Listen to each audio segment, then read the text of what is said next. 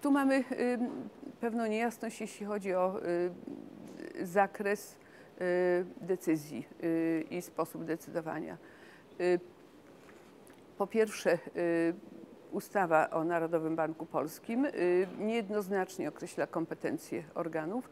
My według niektórych opinii nie mamy Rada, oczywiście myślę o Radzie Polityki Pieniężnej, mocy sprawczej, czyli nie podejmujemy ani decyzji, ani nawet nie mamy obo- obowiązku wyrażania opinii.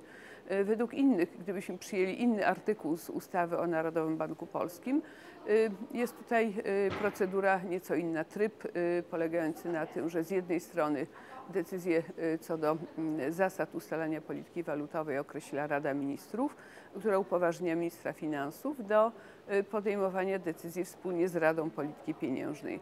Y, A Rada Polityki Pieniężnej upoważniłaby prezesa bądź zarząd Narodowego Banku Polskiego do y, podejmowania takich decyzji.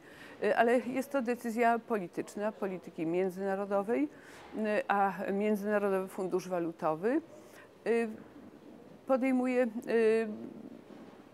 Międzynarodowy Fundusz Walutowy ma mm, relacje z krajami członkowskimi, a nie z zarządem NBP, ani nie z Radą, ani nawet nie z prezesem, ani z ministrem finansów. To są decyzje y, szczebla wyższego, decyzje podejmowane na szczeblu y, krajowym. Y, Nasze prawo powinno być w tym zakresie bardziej jednoznaczne, nie stawiać takich pytań i nie powodować takich wątpliwości i z pewnością przy najbliższej nowelizacji ustawy o NBP powinno być ono sprecyzowane. Mhm. No a na dzień dzisiejszy to kto podejmuje decyzję? Rada Ministrów, tak? No właśnie y, o to chodzi, że nie wiemy, bo są y, co najmniej dwa tryby. Y, Przyjęto jeszcze trzeci tryb y, w oparciu o inny artykuł ustawy o NBP, dlatego że nie ma tej jednoznaczności. Więc ja oczywiście mam swoją opinię. Uważam, że ten ostatni tryb, czyli Rada Ministrów i Rada Polityki Pieniężnej.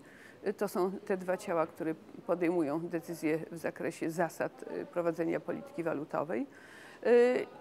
I w związku z tym y, ten artykuł ustawy o NBP należałoby zastosować. Ale przyjęto jeszcze jakiś inny, trzeci, ale każdy jest dobry, bo chodzi o z jednej strony celowość, zasadność y, udzielenia y, tej pożyczki, pozycję międzynarodową Polski i wiarygodność w oczach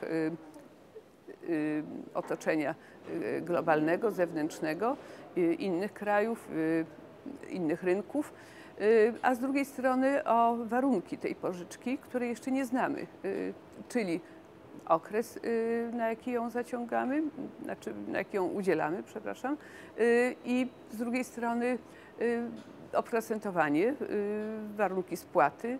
Y, Te wszystkie szczegóły są jeszcze nieznane i z pewnością Międzynarodowy Fundusz Walutowy mm, będzie mówił i o pułapach, i o rozdziale między poszczególne kraje, i o warunkach dla każdego kraju innych albo równoległych takich samych.